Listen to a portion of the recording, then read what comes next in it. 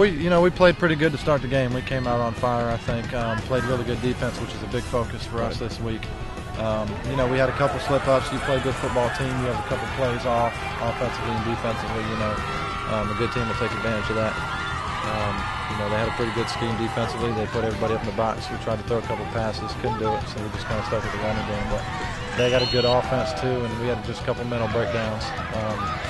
You know, about halfway through the third quarter, we thought we had a comfortable lead. We started putting in some of our backups, and you know, of course, you saw them march up down the field on us a couple times. So and they had to put our starters back in, which sucks as a coach. You never want to do that. Right. But um, my hats go off to them. They played their butts off. You know, Croatan played tough. They got a good football team. They played really hard, and um, I thought our, our guys played hard too.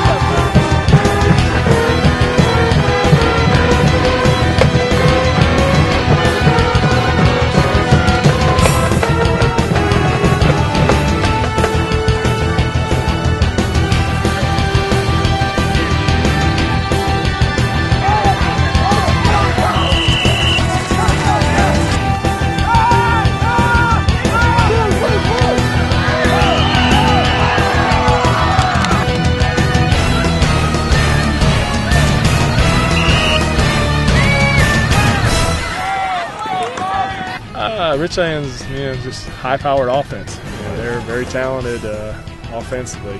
So uh, you know, we just had a hard time finding the, the answer. You know, we worked real hard all week. Thought we had a pretty good scheme put together, and uh, you know, their players, you know, despite even when we were in the right spots, know, Right. they, they still make plays. Offensively, though, y'all played very well. I thought. Yeah, we started coming on, you know, and we did some good things. You know, Marshall Judon did a good job when he came in when Garrett got hurt. Right. You know, and, uh, and we, we moved the ball, you know, all night, moved it, you know, here and there. You know, just uh, got to get a little more consistent. Stay away from the penalties.